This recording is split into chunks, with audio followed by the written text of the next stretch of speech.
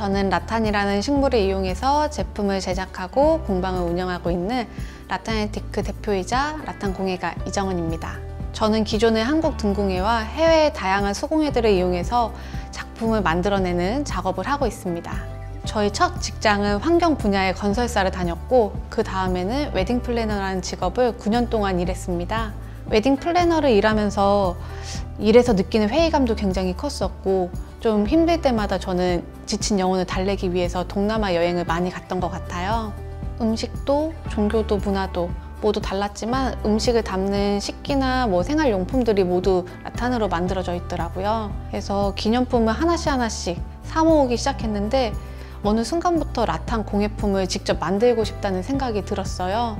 그래서 여유가 생길 때마다 저는 인도네시아에 가서 직접 라탄 공예를 배우기 시작했습니다. 발리 라탄 램프 공예는 한국에 없는 공예였기 때문에 첫 모든 단추를 제가 직접 꿰매야 했어요.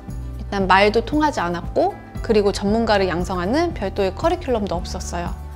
또한 우리나라에 없는 기술이기 때문에 해외에서 라탄 램프를 엮는 기술을 배워왔고 또 문제점을 찾고 수업 교재까지 만들어야 했어요.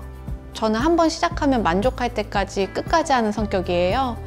그 성격 덕분에 클래스를 오픈하고 수업 진행하게 되었는데요. 나의 작품과 내가 좋아하는 것을 다른 사람들이 함께 좋아해주고 그리고 서로 소통, 공감, 존중과 지지를 보내주는 것에 굉장히 가슴 큰 행복을 느끼고 그게 원동력이 되었습니다. 발리 라탄 램프 클래스는 누구나 쉽고 재밌게 할 수 있는 클래스고요.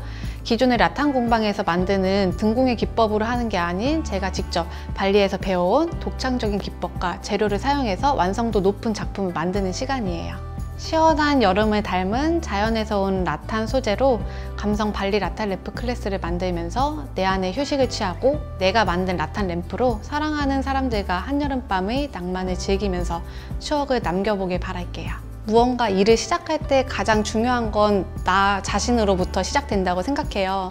내가 무엇을 잘하고 좋아하고 그리고 어떤 삶을 살고 싶고 어떨 때 가장 행복함을 느끼는지 나에 대한 가치를 내가 만들어 나가는 거라고 생각하거든요. 내 목표가 결정이 되었을 때 나를 믿고 실행에 옮기세요. 그리고 시작은 굳이 거창하지 않아도 됩니다. 오늘의 하나가 쌓이고 쌓여 내일의 거대한 산이 되어 있을 거예요.